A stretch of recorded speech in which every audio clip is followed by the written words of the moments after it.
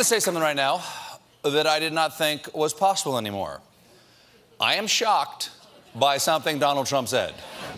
Late night TV hosts wasted no time Thursday responding to President Donald Trump's tweets targeting MSNBC's Morning Joe co host, Mika Brzezinski, in which Trump called her low IQ crazy Mika and referenced a meeting with her in which she was bleeding badly from a facelift. On CBS's Late Show, Stephen Colbert described Trump's words and actions as shocking and vicious. First of all, someone bleeding badly at your door and you say no? It sounds like your health care plan. The host also responded to Lindsey Graham, who said, This is what's wrong with American politics.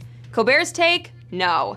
This is what's wrong with the American president. Let's stop pretending that Trump is a symptom of something. He's the disease. And the only cure is three and a half years of liquor and bed rest. Over on Late Night, host Seth Meyers introduced a new segment titled I Can't, inspired by the facelift post.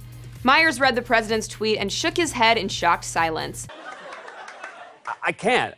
He also brought up the tweets while taking a closer look at the Republicans' health care bill. Meyers said this his Twitter rants have gone from confusing to, Mommy, why is the man on the subway yelling so loud and where are his underpants? And on The Tonight Show, Jimmy Fallon also tied the tweets back to Trump's health care plan. That's right. Trump accused Mika Brzezinski of getting plastic surgery, which is odd because that's the only thing covered by his health care plan. For the full late night segments from Colbert, Meyers, and Fallon, check out THR.com and let us know your thoughts in the comments below. I'm Tiffany Taylor for The Hollywood Reporter News.